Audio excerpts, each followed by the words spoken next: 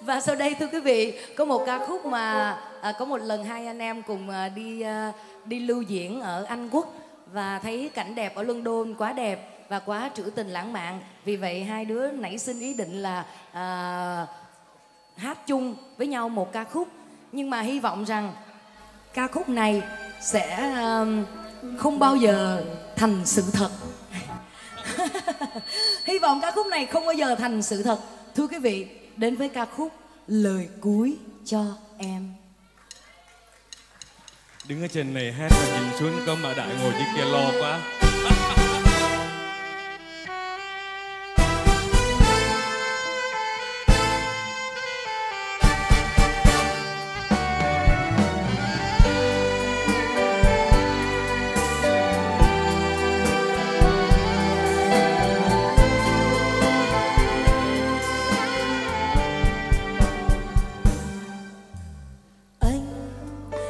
Em xin anh một lần cuối.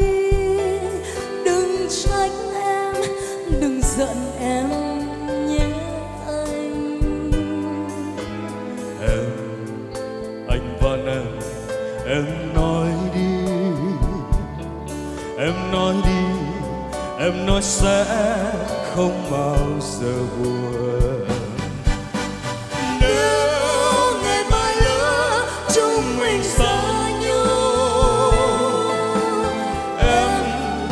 Chôn đời, ngàn năm lạnh giá nếu ngày mai lỡ chúng mình xa nhau.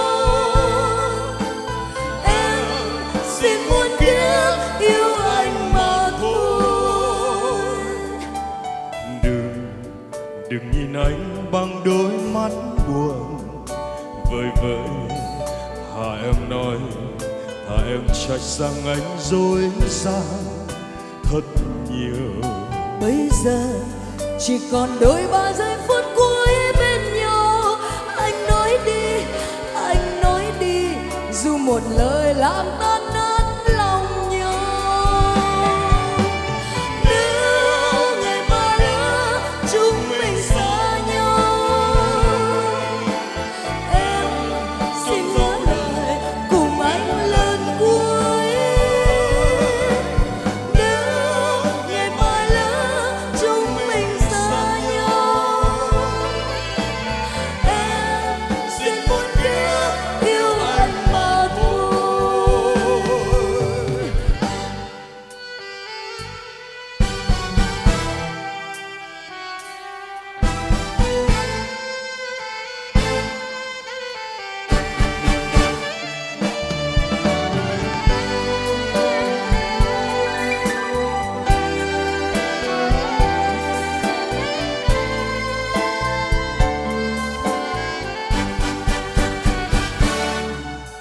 Đừng đừng nhìn anh bằng đôi mắt buồn vơi vợi.